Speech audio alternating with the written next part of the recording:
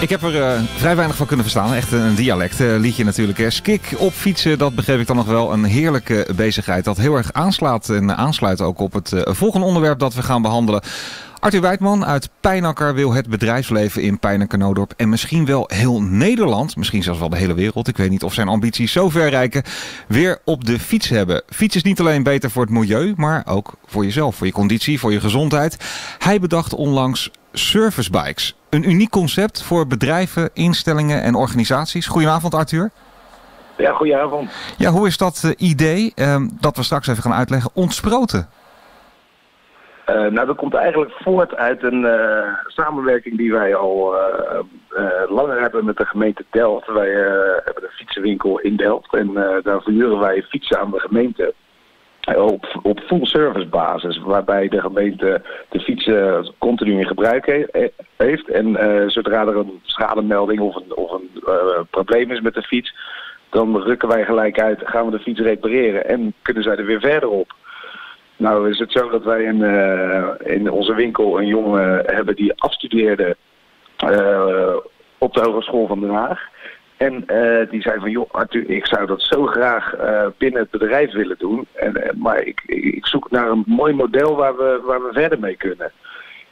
En toen kwam, zaten we gelijk te denken aan het model fietsenvuren aan bedrijven. Hè, om, om personeel lekker op de fiets te krijgen. Hè, tijdens de lunch om even een broodje te halen of even een postpakketje weg te brengen of te halen. Ja, want ik vertelde het net eigenlijk al een beetje. Veel mensen gaan natuurlijk met, uh, met, met de auto uh, naar het werk. Uh, parkeren de auto voor de deur. En tussen de middag wil je dan even een lunch halen. Of je moet nog even inderdaad een pakketje wegbrengen of naar een klant. En dan pakken ze vaak weer die, die auto. En pak dan lekker Klopt. de fiets, denk jij dan? Ja, pak lekker de fiets. Veel gezonder. Goed voor het bedrijf. Hè, gezond personeel. Fris en fruitig weer op het werk.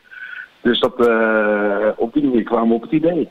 Ja, en, en die mensen uh, en dat soort bedrijven hebben vaak uh, geen, geen fietsen voorradig. die heb je daar niet staan, niet voorhandig. Um, dat moet je ook allemaal bijhouden. En toen zei je van, joh, wij zetten er gewoon, hè, het is vanaf, vanaf vijf stuks, die zetten wij bij jouw bedrijf, organisatie of instelling gewoon neer.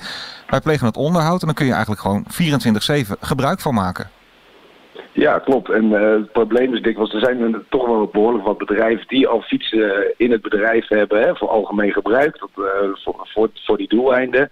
Alleen het probleem is dikwijls dat je, als je dan die fietsenstalling inloopt, dan staat er één met een lekke band en eentje met een scheur in het zadel, waardoor je altijd een natte kont hebt. Ja, de bierfiets, hè? De, de bekende bierfiets is dat eigenlijk een beetje. Ja, klopt. Nou ja, de, de, uh, en niemand voelt zich verantwoordelijk om die fiets even weg te brengen en weer op te halen om te laten repareren. En dan is zo'n full service concept, waarbij wij gewoon uh, binnen twee dagen de fiets op locatie komen repareren, echt een uitkomst. Herkenbaar. Wat voor fietsen zijn er allemaal te huur? Kan je het zo gek maken als je zelf wil? Bijvoorbeeld elektrische fietsen? Of is het ook toch wel een beetje een soort veredelde bierfiets? Lekker een beetje makkelijk? Nou, het zijn hele degelijke, stevige fietsen. Want wij willen natuurlijk het liefst zo weinig mogelijk uh, uh, naar het bedrijf uh, toe rijden om de fiets te moeten repareren. Ja. Dus een hele stevige, degelijke fietsen. Dan kun je kiezen voor een fiets met, uh, met een terugtraprem en dan zonder versnellingen. Maar je kan ook voor een luxere variant gaan met handremmen en, en versnellingen.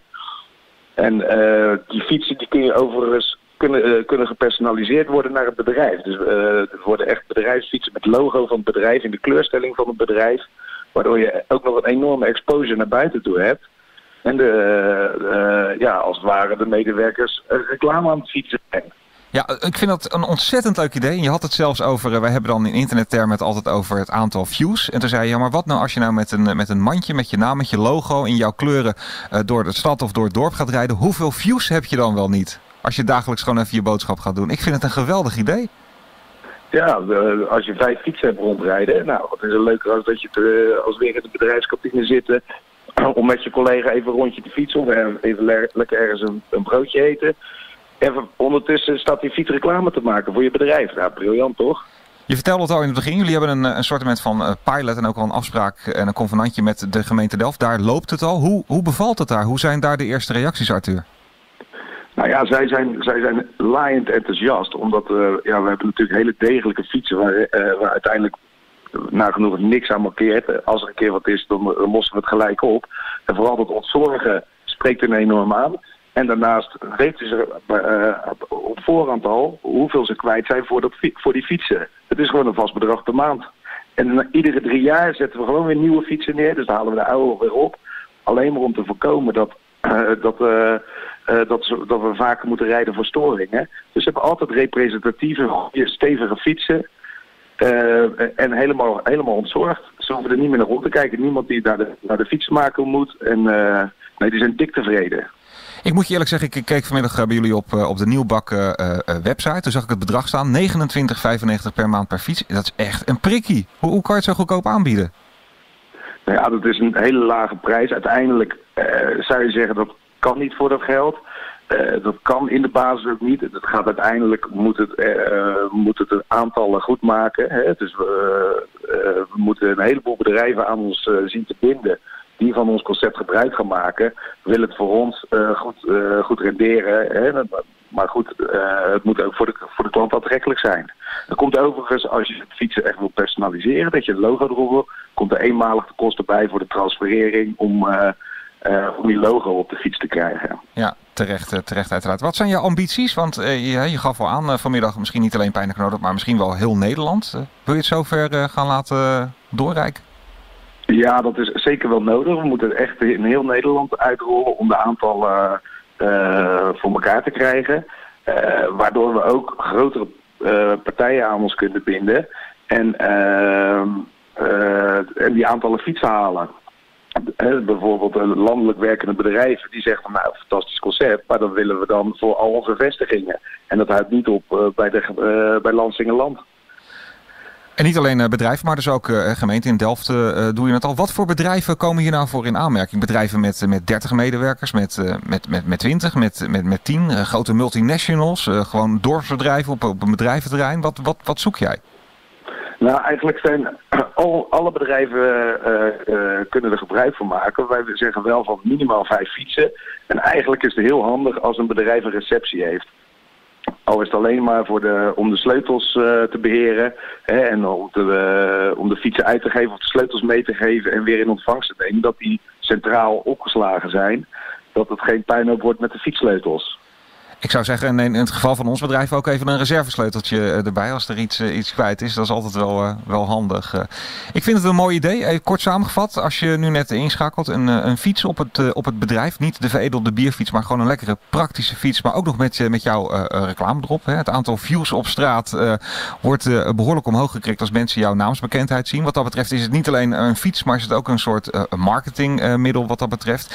Heb jij een, een, een mooi bedrijf, een, een instelling of een, uh, ben je beheerder van een uh, organisatie? Um, en vind jij dit wel wat om jouw medewerkers, vrijwilligers, personeel op de fiets te gaan krijgen? Dan is dit voor jou een ultieme mogelijkheid om dat te gaan realiseren voor een relatief laag instapbedrag. Arthur, waar kunnen mensen zich aanmelden? Nou, kijk even op onze website servicebikes.nl uh, dan kun je ook alle informatie vinden. Dan kun je zelfs de kleuren kiezen uh, en uh, zien hoe de fietsen eruit zien. En het is overigens, ja, het gaat niet alleen om de bedrijven, maar voornamelijk ook om de medewerkers. Hè? Iedereen werkt wel ergens.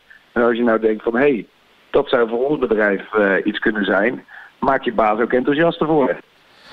Ik neem aan dat er ook nou ja, afspraken gemaakt kunnen worden met ondernemers die misschien wat meer willen afnemen en dergelijke. Dat ze jou ook altijd niet alleen via de website een mailtje kunnen sturen, maar ook gewoon kunnen bellen. Hè? Uiteraard. Ons, uh, mijn telefoonnummer staat ook op de website. Dus uh, ik ben altijd bereikbaar uh, voor nieuwe klanten. Servicebikes, meervoud.nl, servicebikes.nl. Tot slot, um, ja Arthur, jij kan het als geen ander vertellen. Wat maakt fietsen nou zo leuk? Ook als je gewoon aan het werk bent om tussendoor even de fiets te pakken. Nou, kijk, de basis is een goede fiets. Hè? Als, een, als een, een fiets, lekker licht fiets dan is het gewoon, uh, dan is het gewoon lol. Dan, dan gaat het hartstikke makkelijk. Hè? Als, je een, uh, als de fiets niet goed is, dan is het plezier al weg. Maar als je lekker buiten bent in de natuur, frisse neus, heerlijke rondje rijden. Ja, wie wil dat niet? Liever dan in de auto. Altijd voor de deur parkeren.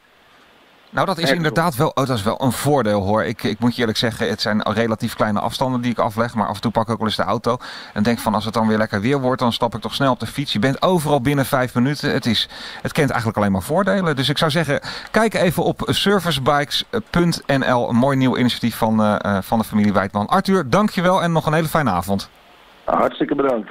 Fijne avond.